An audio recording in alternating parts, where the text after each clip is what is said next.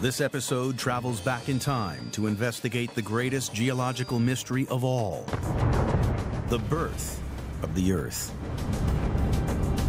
Scientists explore how our planet first formed from the dust of the solar system, how molten rock solidified to land, how our oceans filled with water, and how life arrived on Earth. These are the earliest chapters in the incredible story of how the Earth was made.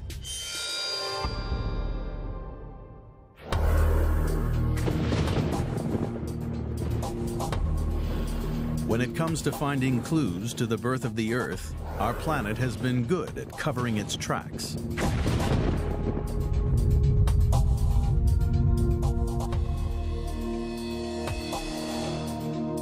Billions of years of erosion, volcanic activity, and the shifting of continents and oceans have destroyed almost all the evidence of the earliest stages in Earth's formation. For geologists trying to discover how and when the Earth first formed, this is a major challenge. As geologists began to question the age of the Earth, and of course they looked for older and older rocks, what we began to find was that the further back you go in Earth history, the harder it is to find any of those rocks. The search for the oldest rocks on Earth brings investigators to the harsh desert landscape of northern Arizona. This giant hole in the ground is Meteor Crater, formed when a massive meteorite slammed into the Earth. We didn't really have rocks from the very beginning. Well, where could we find something? What about the meteorites that have been out in space and fall on the Earth? It was here that geologists made a vital discovery. Meteorites are older than any rocks on Earth. They had found the key that would unlock the secret of Earth's formation. If the oldest rocks came from space, that is where the investigation must begin. In space.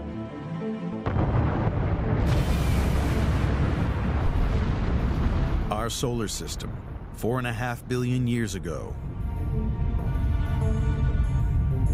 At its center, the young sun. The theory that emerged was that the sun was surrounded by a cloud of dust and gas, and as that cloud cooled, little grains of minerals formed.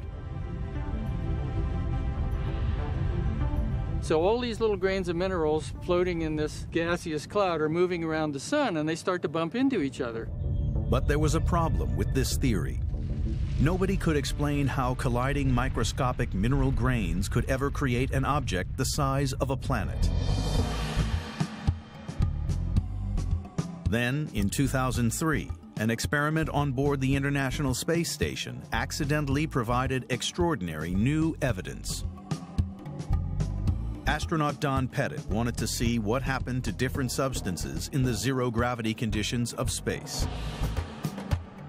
He did a simple experiment by pouring some salt into a plastic bag and shaking it.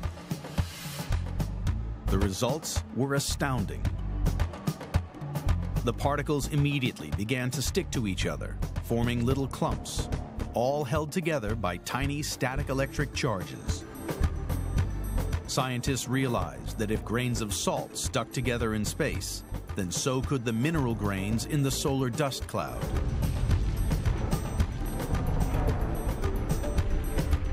Here was real evidence for the fundamental mechanism that kick-started the formation of the Earth.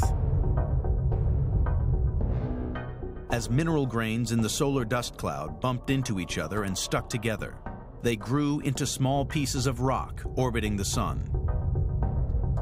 Over the next few million years, some of them collided and grew bigger.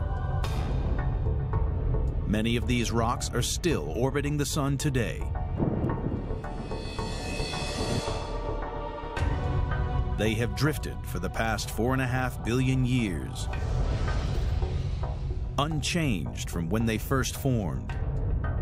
Occasionally, they fall to Earth, and we call them meteorites. They provide scientists with an incredible window onto the past. We brought a, what's called a stony type of meteorite. What the scientists do then is slice across it and look on the inside. And to a planetary mineralogist, you start seeing all kinds of wonderful things. This meteorite contains minerals and metals from every part of the solar dust cloud. So what we're looking at is the assemblage of all these little ancient, ancient, ancient materials that were floating around the sun in the nebula of dust and gas. And when they hit each other, they gradually aggregated into solid bodies, which got bigger and bigger. Gradually, billions of these rocks grew as they orbited the sun first to the size of boulders, then as big as houses, and they kept on growing. When an object reached about half a mile across, its own gravitational pull became strong enough to draw other objects towards it. Some object in this huge number of objects going around the sun, one of them had to be the biggest. And as soon as it gets bigger than the others, it's sweeping up more objects just like you're driving through a cloud of mosquitoes at night in your car and the front windshield's getting hit more often. So the bigger it is, the faster it grows. And the faster it grows, the more gravity it gets, and that pulls in more objects. So the biggest object starts to run away from the crowd. It starts to grow fastest. And that biggest object was the fledgling Earth. Soon, the young planet had so much gravitational pull that it began to attract bigger and bigger objects. As they crashed onto its surface, Earth's size increased with every impact. The bombardment was so intense that it only took about 30 million years for the planet to grow to almost its present size. The young Earth was made of billions of pieces of rock randomly stuck together. But geologists know that the modern Earth is not like that. Below the surface, Earth is separated into distinct layers. A thin crust, then a massive dense layer of rock called the mantle, and at the center, an iron and nickel core. Some extraordinary event must have occurred to transform the interior of the young planet. Geologists now believe that soon after it formed, the Earth completely melted. Originally, the Earth was probably just a big collection of rocks like this, but it heated up to the point where these rocks all melted. And when that happened, the denser elements sank down through to the very core of the Earth, and the lighter elements floated at the top. The huge gravitational pull dragged the heavy iron and nickel down to form the core and separated the rest of the planet into layers. What caused such a huge mass of rock and metal to heat up in the freezing depths of space puzzled geologists for many years. We think it's from the incorporation of very hot radioactive elements. They're out there floating in space as the Earth accretes. It includes some of this ferociously hot material. As it gets inside there, it begins to heat up the rocks around it. And if you build the Earth fast enough and you incorporate enough of this really hot reactive elements, it'll be enough to melt the Earth from the inside out. Only 30 million years after it began to form, Earth had become a giant round ball of boiling liquid rock and metal orbiting the sun. Imagine a, a totally molten world. I mean, it had molten magma oceans, uh, no, no dry land anywhere, no water, just uh, flowing lava everywhere. The temperature of the molten Earth was now a staggering 2,000 degrees. But at the edge of the planet, the vacuum of space is a constant minus 450 degrees, almost 2,500 degrees colder. The surface rock could not stay molten for long. It's cooling from the outside in. So from the outside begins to crust over, and you get this little scab, like on a wound, of cooled rock, but still really hot, and then gradually begins to cool from the outside in. In less than a million years, Earth's surface was covered in a thin crust.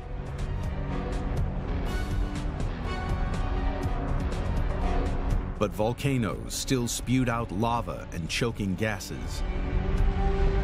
Meteorites rained down in a constant bombardment. Earth had a long way to go before it could support continents, oceans, and life. Scientists investigating the earliest origins of the Earth have uncovered evidence from salt grains in space. They revealed that the Earth began to form when fragments of the solar dust clouds stuck together. The Earth's internal layers provide the clue that soon after it formed, the young planet completely melted. Scientists had worked out how the Earth first formed from a cloud of dust in space. But they were missing a vital piece of the puzzle. They still did not know the age of the Earth.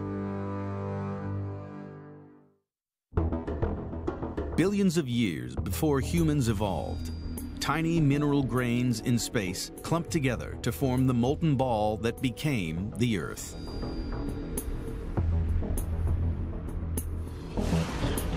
But exactly when that happened is a question that has taxed the minds of scholars and scientists for centuries. In 1650, the Irish Archbishop James Ussher added up the ages of all the prophets and kings in the Bible. His calculations led him to very precise conclusions that Earth was created at nightfall before Sunday, October 23rd, 4004 BC. A century later, geologists realized that Earth's thick layers of sediments and volcanic lavas must have been laid down over millions rather than thousands of years. The next breakthrough came in 1897 when physicist Ernest Rutherford figured out that measuring radioactive decay could accurately date the age of rocks.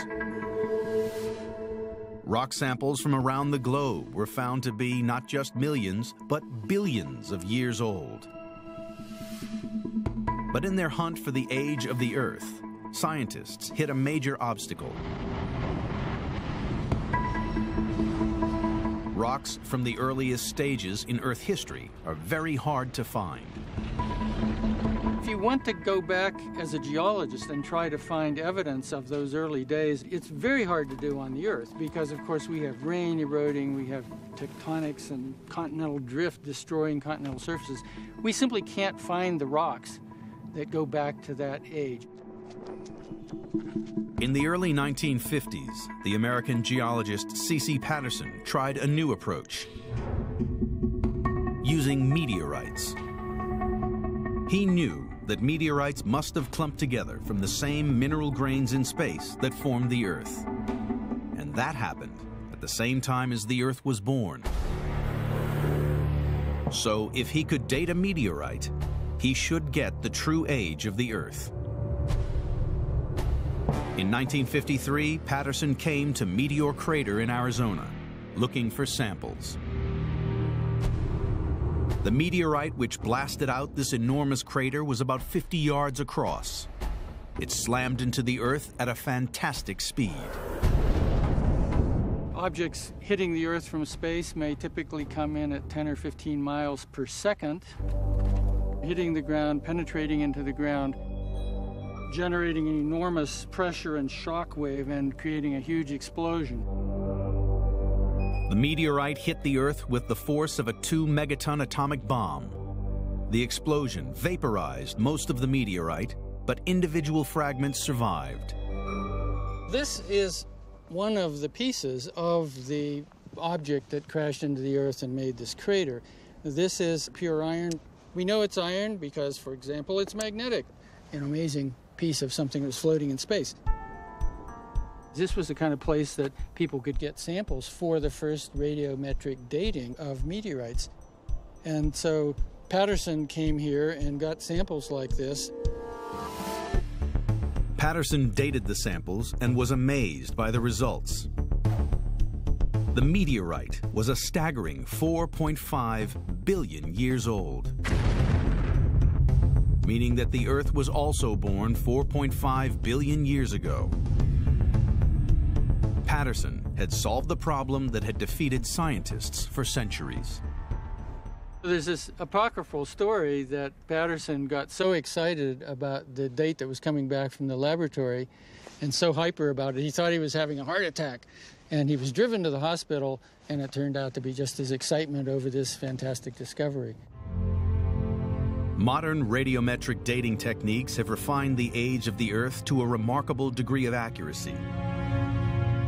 The most recent study dates the Earth as 4,567 million years old. So scientists now knew how and when the Earth was formed. But nobody had figured out what happened next. Then in 1974, a radical new theory emerged. In the early solar system, there were dozens of mini planets chaotically orbiting the Sun. According to the theory, one of these was on a collision course with Earth. The idea was the brainchild of Bill Hartmann, who was trying to explain the origin not of the Earth, but of the Moon. What we came up with was that maybe during that period of intense impacts, maybe very large impact hit the Earth and blew some crustal outer mantle rock off of the Earth into space around the Earth, and the Moon formed from that material. Hartmann suggested that another planet, about the size of Mars, crashed into the Earth.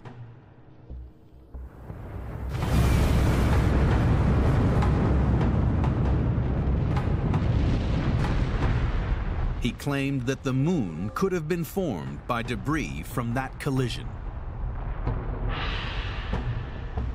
To many scientists, this was nothing but fantasy, but Hartmann had evidence.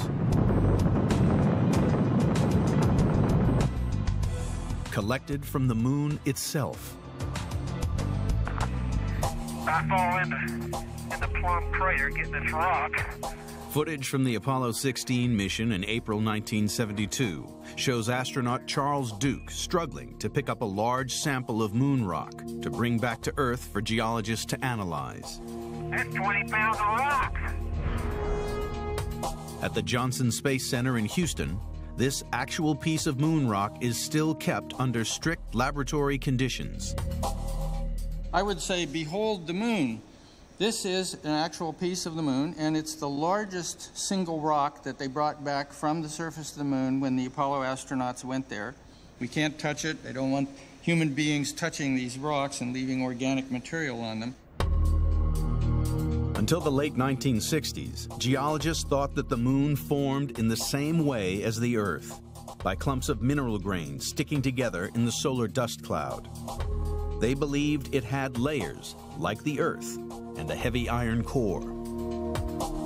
But when geologists analyzed lunar samples, they were astonished to discover that the moon rocks contained much less iron than they expected. One of the mysteries has always been why isn't there as much iron in the moon as there is on the Earth if the two, two objects are right close together in space? The question bothered Hartmann so much that he began to think that conventional theories about how the moon formed might be wrong that lack of iron in the moon, or to put it another way, the fact that the moon is made out of rock that looks like the crust and the upper mantle material of the Earth, that was a clue that the moon may have formed from rocks from the outer portion of the Earth. This was the key to Hartmann's idea of a collision between Earth and another planet. The force of the impact completely destroyed the other planet and flung billions of tons of Earth's crust and mantle out into space and into orbit around the Earth. Within a few thousand years, this debris clumped together to form the moon.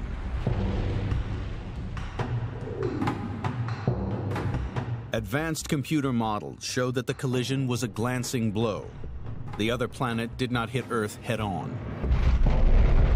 This meant that while Earth's outer layers were ripped off, none of its iron core was blasted away. That lack of iron would end up explaining why, why we have a moon that, that is only the rocky material without the iron material. Hartmann's collision idea is now accepted as fact. It was his fascination with the moon that led to a new understanding about a vital stage in the formation of the Earth. The moon always, to me, is a reminder that we live in a larger environment than just the Earth. It's the cosmic environment. The inner solar system is our environment that we can move around in now.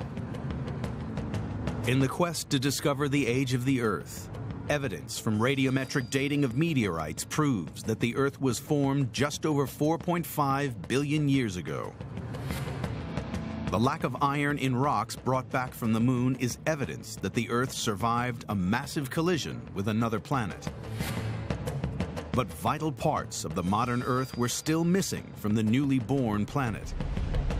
The investigation now needs to figure out how the Earth gained two essential components solid land and water.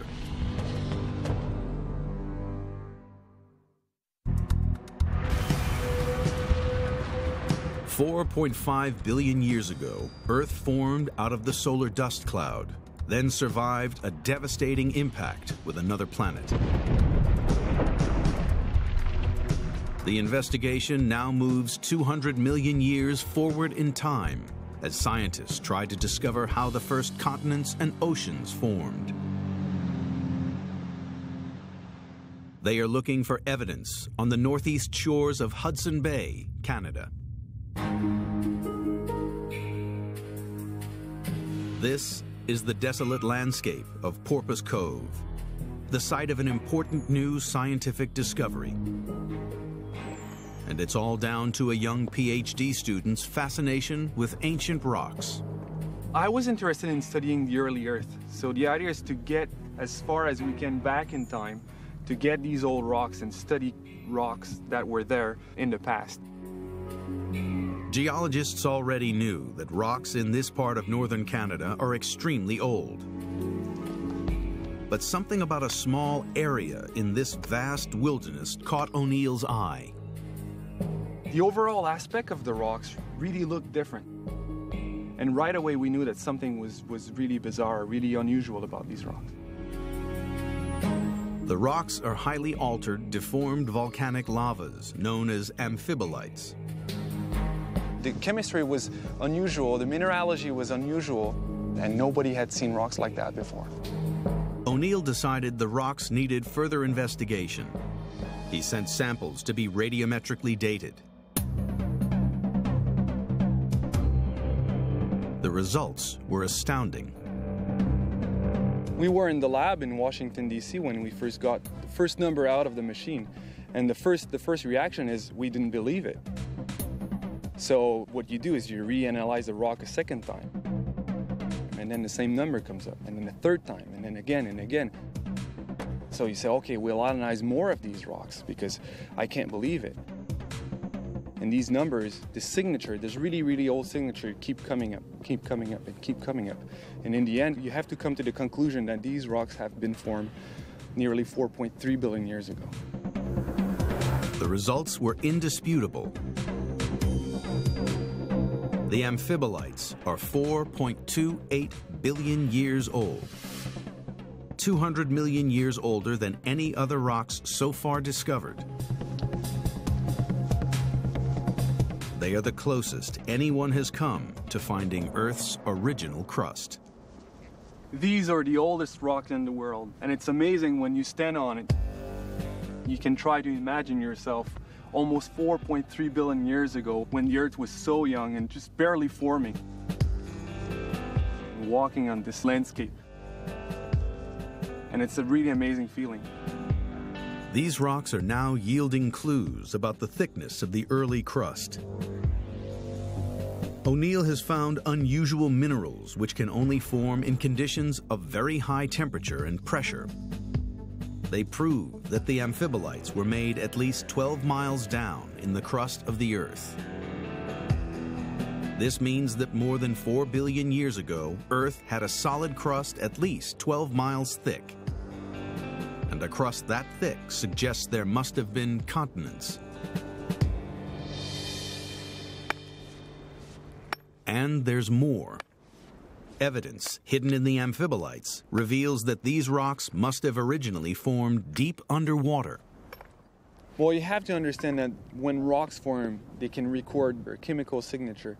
And depending on where the rocks are formed and what geological context they will be formed, they will carry that specific chemical signature. The chemical signature of the amphibolites is unique. It proves that when these rocks formed, Earth had not only a solid crust, but oceans. The signature we see here, it really looks like an oceanic floor. That means there was an ocean and a lot of water already at 4.28 billion years old. So it totally changes our view of what the Earth was like before. To the scientific world, this idea is dynamite. But O'Neil is not on his own. There is more evidence to back up his claim. In the same ancient rock sequence, geologists find another unexpected rock type called banded iron formations. These rocks are made up of alternating light layers of silica and dark bands full of a mineral called magnetite, which, as the name suggests, are rich in iron. We usually use a magnet to, to try to find these uh, minerals. It's a quick and easy way to uh, identify for sure those rocks as banded iron formation. Magnetite in banded iron formations only forms underwater. So these rocks are further evidence that there were oceans on Earth more than 4 billion years ago. But scientists don't know how much of Earth's surface was covered by water. The only way to form this magnetite is to be like in a ocean we don't know exactly what was the, the ocean at that time, but we know for sure that we need water to form those rocks. These discoveries are forcing geologists to rethink their ideas of what conditions were like on Earth less than 300 million years after the planet formed. People often think of this earlier like a ball of fire, a molten rock, but this is not the picture that we see here we see that already at 4.28 billion years old, we probably had an ocean. We had continent that really, really looks like what we know today. So it changes totally our view of the early Earth. The investigation has now revealed when the Earth's continents and oceans began to form. Evidence from amphibolite rocks at Porpoise Cove confirms that the Earth had developed a thick solid crust 4.28 billion years ago. Banded iron formations in the same rocks show that there were oceans on Earth's surface at the same time. All of which raises another mystery. If oceans existed more than 4 billion years ago, the investigation needs to figure out where all the water came from. After its formation from the solar dust cloud 4.5 billion years ago, Earth was a fiery ball of molten rock. But 200 million years later, the first oceans were already forming. And Earth today is the blue planet, with 70% of its surface covered by water. The investigation now looks at the mystery of the origin of Earth's water. One of the important questions I've always thought about is, you know, where did all of this come from? All of this water, all the water in the oceans and in the atmosphere, in our bodies, in the ground. When you look at the Earth from space, what really impresses you is the water, how beautiful this planet is. Uh, why does Earth have all this water? And, and how did it get here? The question has puzzled geologists for years. Now, they believe the answer lies in space. New evidence showing how our water arrived on Earth has emerged from a meteorite that fell in 1998, but which has only recently been analyzed. We found an astonishing thing. This meteorite contains grains of table salt, just like you put in your on your uh, fish and chips. The clue is trapped inside the crystals of salt and revealed under the microscope. Minute droplets of liquid water. On the computer screen, you can see a little fluid inclusion, a little drop of water, and you'll know it's water. We know it's liquid because you see a little bubble moving around inside of this little droplet of water. The amazing thing about this discovery is the age of the water. You can date this by several different dating techniques. The salt itself is four and a half billion years old. The water inside has to be at least that old, if not even older. There's no question about it. And so this water is at least as old as the solar system.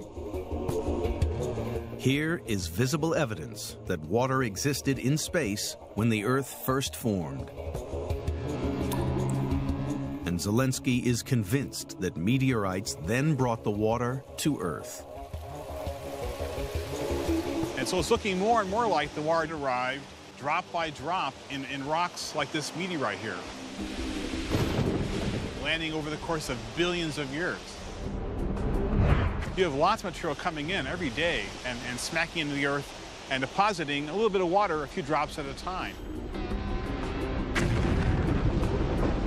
The scale of the meteorite bombardment needed to fill the oceans with water is almost impossible to comprehend. But scientists believe that over billions of years, there were easily enough meteorites crashing into the Earth to account for all the water on the planet.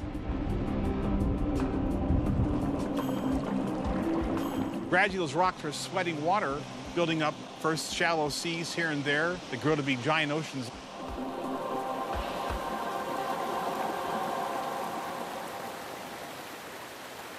You go from this to this. Once Earth had land masses and water, the stage was set for the development of life. The next phase in the evolution of the Earth. Life is an essential element in Earth's geology. Without life, sedimentary rocks like chalk and limestone would not exist. Without life, there would be no coal, oil, or gas. Life has shaped the Earth in profound ways. But finding the origin of life has challenged scientists for hundreds of years. Now there's a new explanation. It comes from evidence found at Allende in the desert landscape of northern Mexico. At about 1 a.m. on February 8, 1969, night suddenly turned into day a large fireball was seen travelling from the south northwards over northern Mexico. And this big flash and this fireball was caused by a really large meteorite. It was probably about the size of a car, and it entered the top of the Earth's atmosphere at about 36,000 miles an hour. As it plunged through the atmosphere, the meteorite broke up into thousands of fragments. There was no crater left by the Allende meteorite, so it fell as a shower of stones. The largest of which was reported to be about the size of a beach ball. The stones are found in, we call it a strewn field, and it's an area about 30 miles by 5 miles wide, and we're here right in the middle of that strewn field. Because the meteorite fragmented into so many pieces, geologists had to search a huge area to find samples. Now I actually have a smaller one of the stones here. You can see it's about the size of a plum. It's one of the most primitive type of meteorites. This means that since it formed at the very earliest stages of solar system formation, really not much has happened to it. When they analyzed samples from Allende, geologists made a groundbreaking discovery. The meteorite contained tiny amounts of chemicals called amino acids.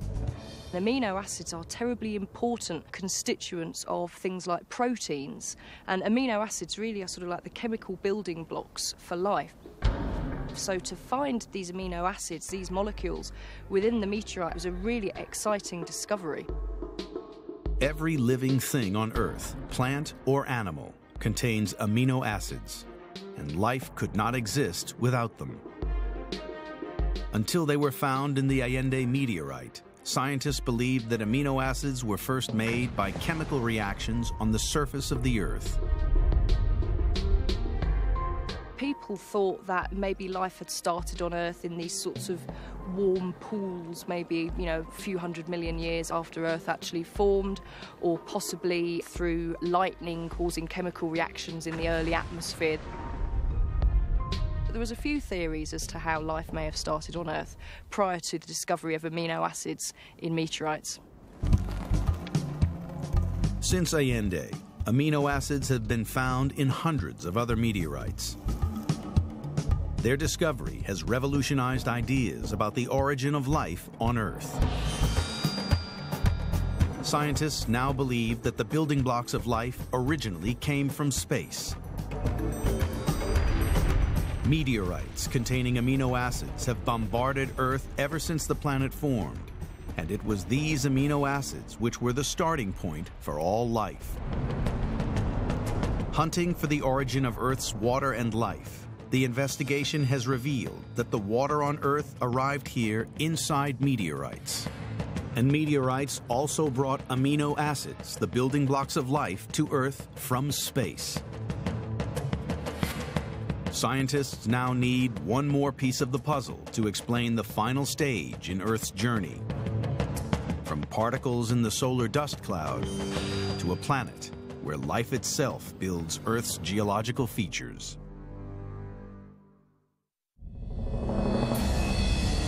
Four point five billion years ago, Earth formed out of the solar dust cloud. 200 million years later, the first continents and oceans were developing.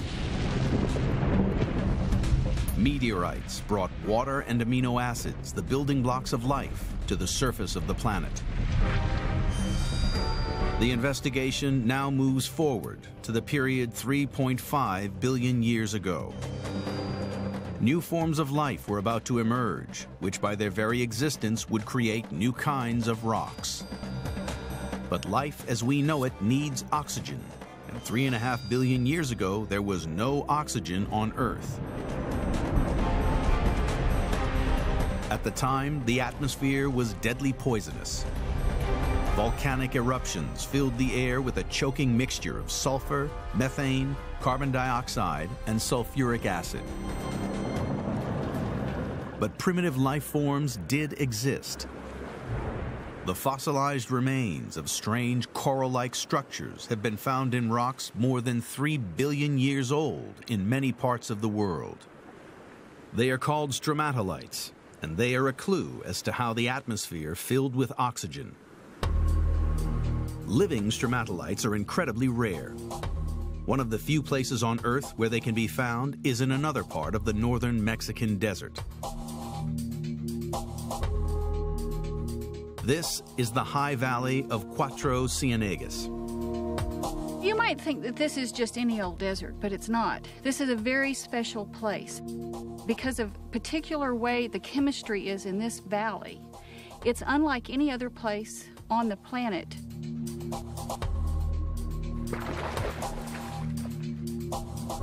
The pool is like a time capsule laboratory. By examining the modern stromatolites, scientists can work out how they were made more than 3 billion years ago. What's interesting about Cuatro Ciénegas is that this is almost like a proxy to right before the world had a lot of oxygen in it. And the place was dominated, our Earth was dominated by microbial life. Siefert has discovered that the stromatolites are made by billions of microbes called cyanobacteria. These right here are the stromatolites that are here at Cuatro Ciénegas. I have a piece of it here, and if you can see this blue-green rim right here, this is millions and millions of cyanobacteria. These bacteria were to change the course of Earth history because of one unique feature. They produce oxygen. Here at this pond, we can actually see them doing their job. We can see them making that oxygen. So when I get in the water and I actually go up to one of these cyanobacterial mats, if I look very closely, all of the community is making oxygen. And as that oxygen collects in that mat, it produces a little air bubble. And you can watch that air bubble just transfer to the top. And that's actually when oxygen is being released to the atmosphere.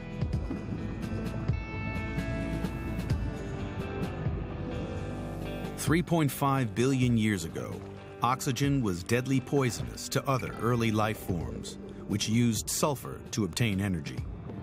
Cyanobacteria developed a little molecular machine that could actually take sunlight and take water. And they made a, a, byproduct that was oxygen. Well, on this planet back then, none of the life was used to oxygen. And it's at that point in life's history when they began making excess oxygen that got into the atmosphere, our whole world changed in the way it worked. Over geological time, there were enough cyanobacteria to produce trillions of tons of oxygen, creating the atmosphere we breathe today. And they were responsible for changing the way all life evolved. From an evolutionary standpoint on planet Earth, we are where we are because of cyanobacteria and the fact that they managed to fill our atmosphere full of oxygen. Because unless we'd had that gas, we wouldn't have the complex organisms that we have on the planet. You and I wouldn't be here today. Once the atmosphere began filling with oxygen, the stage was set for the evolution of all plant and animal life. The impact on Earth's geology was profound. Over hundreds of millions of years, Decaying plant matter from tropical forests built up compressed layers, which eventually formed all the coal, oil, and gas deposits on the planet. Sedimentary rocks like limestone and chalk are made largely from the skeletons of marine animals which accumulated at the bottom of shallow seas. Without life, Earth's geology would be very different. The investigation into the birth of the Earth has uncovered evidence revealing the secrets of Earth's development. Experiments on salt crystals in space reveal that the Earth began to form when mineral grains in the solar dust clouds stuck together. Evidence from meteorites proves that Earth first formed 4.567 billion years ago. The oldest rocks in the world are evidence that continents and oceans were forming 4.28 billion years ago, much earlier than previously thought. Liquid water in meteorites proves that water was brought to Earth during billions of years of meteorite bombardment. 3.5 billion years ago, a billion years after it first began to grow out of the solar dust cloud, Earth had continents, oceans, primitive life forms, and oxygen. The birth of the Earth was complete. A new canvas on which billions of years of geological processes could mold the planet we inhabit today.